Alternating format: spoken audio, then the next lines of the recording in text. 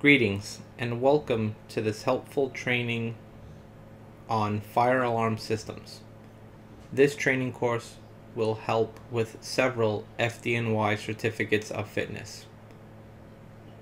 The S95 and F53 are just some that you'll find this information very helpful.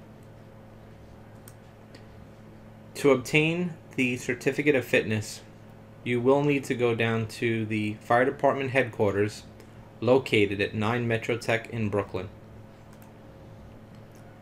This area is easily accessible by the A, C, and F trains to Jay Street or the R train to Jay Street Metrotech.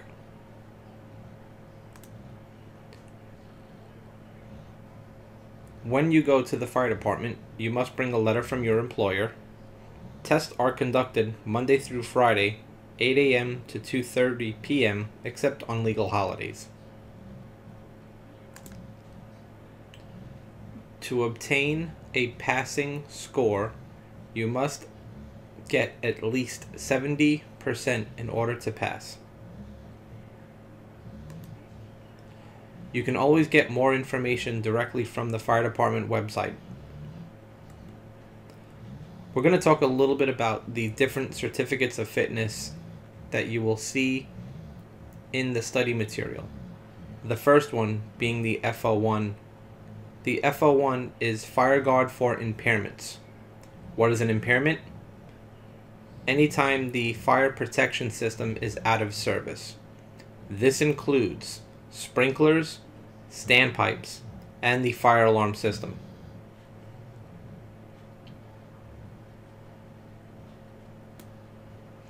The S12. This is for the citywide sprinkler system.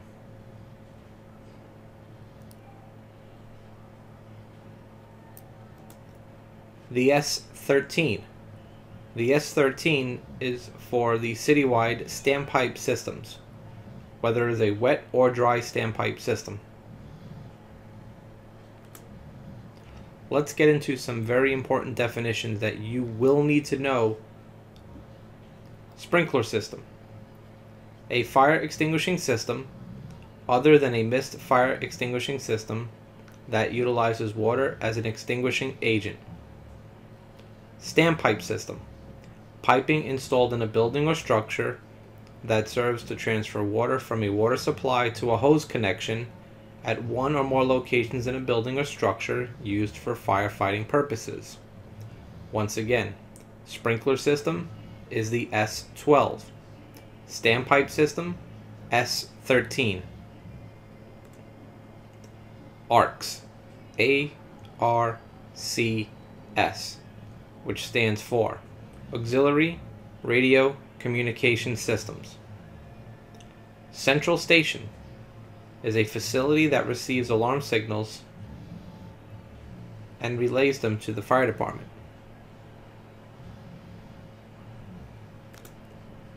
Initiating device a system component that transmits signals such as supervisories, smoke detectors, pull stations, etc. Nuisance alarm. You can receive these due to lack of proper maintenance, improper installation, or mechanical failures. Fire guard. A person who holds a certificate of fitness place of assembly safety personnel. Very similar to fire guard. Fire guards for impairment are FO1. Fire guards for place of assembly are FO3 or FO4. And they're used to manage occupants. Building occupants. All persons in the building, including employees, building staff, and visitors. Fire extinguishing systems. These can be automatic systems to extinguish fires. Out of service system is when a fire protection system that is not fully functional or whose operation is impaired. If you have an impairment, you must have a fire guard for impairments with an FO1. Some of the most important things that you will need to know for your computer based exams. How to make a public address announcement throughout the building. This is also known as an all call.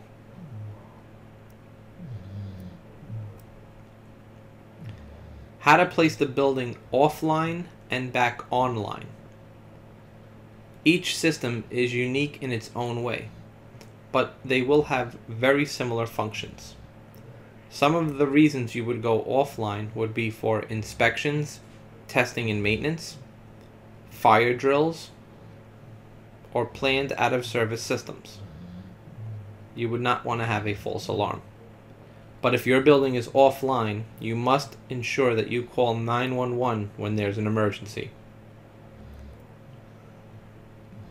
Acknowledging these signals at the fire command station or the fire alarm control panel. You must also know how to manually activate the alarm tones for fire emergencies and you must also know how to manually activate the tones for non-fire emergencies. This would include severe weather, civil disturbance or riots, bomb threats, active shooter scenarios, or chemical, biological, or radiological incidents. You must also know how to perform fail-safe door release functions. Some buildings have a fail-safe and fail-secure system. You must also know how to silence the fire tones throughout the building when received. And you must know how to reset the fire alarm control panel. You cannot reset this panel until told to do so by the fire department. The primary purpose of this system is to transmit signals to an FDNY approved central station.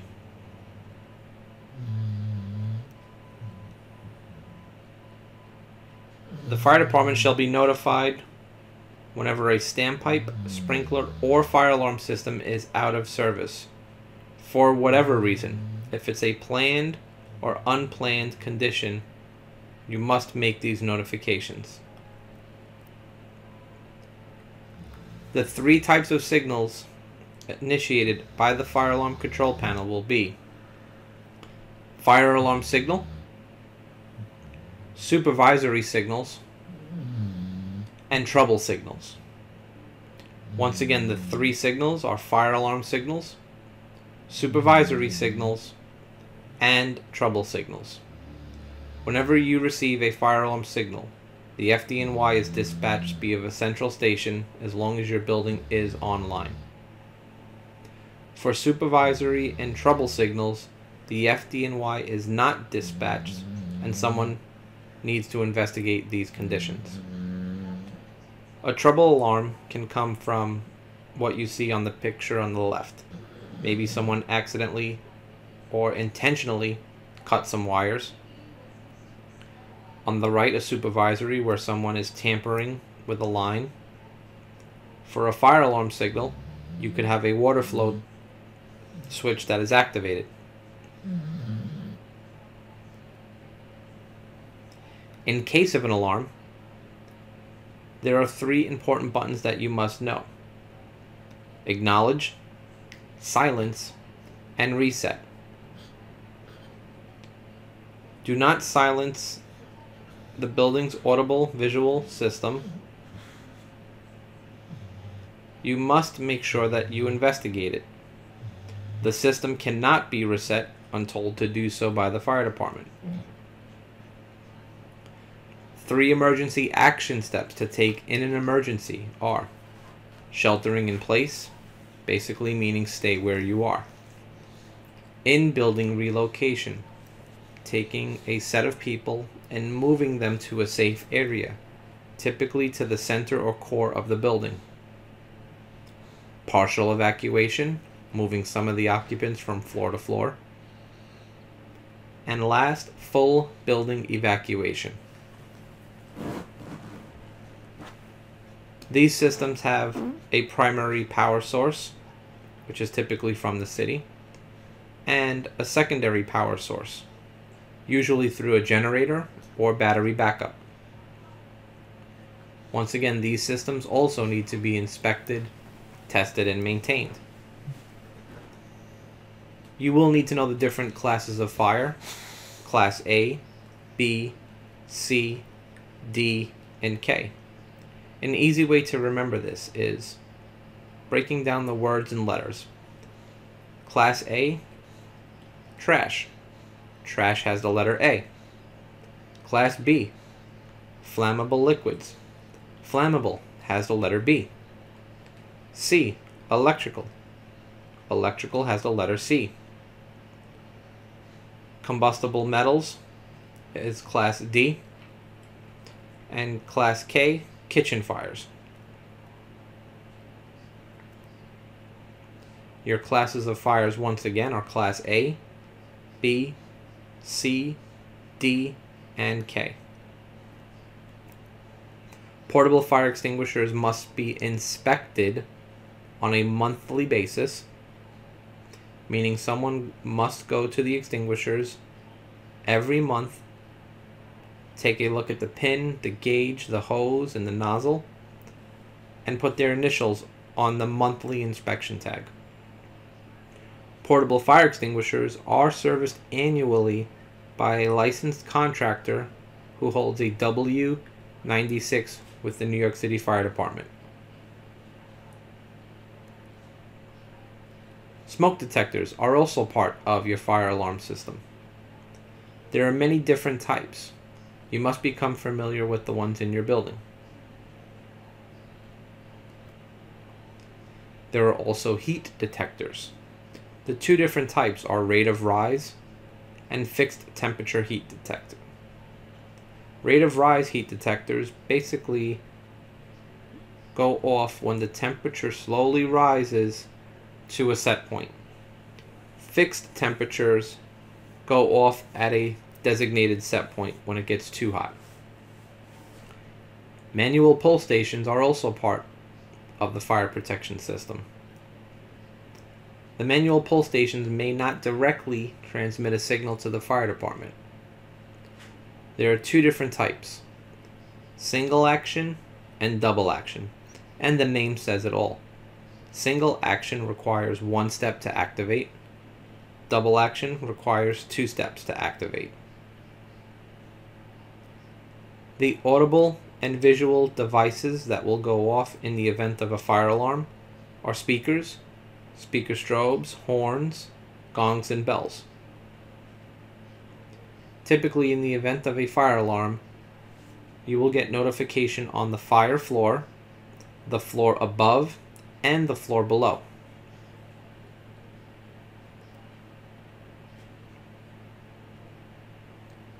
Some buildings also have a remote annunciator panel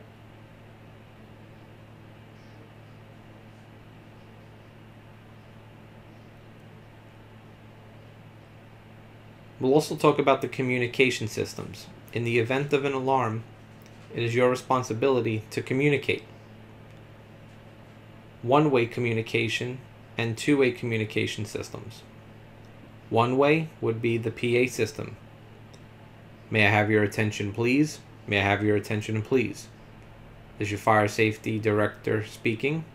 We have received a signal on the fourth floor, north mechanical room. Will wardens please investigate and get back to me?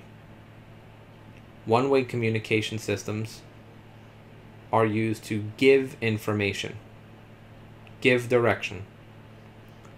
Two way communication systems are typically warden phones on each floor and in certain areas, those individuals designated to do so can give you information at the panel, which then in turn will allow you to use your one-way communication system. You have to be able to get information that is accurate and give information to the occupants of the building.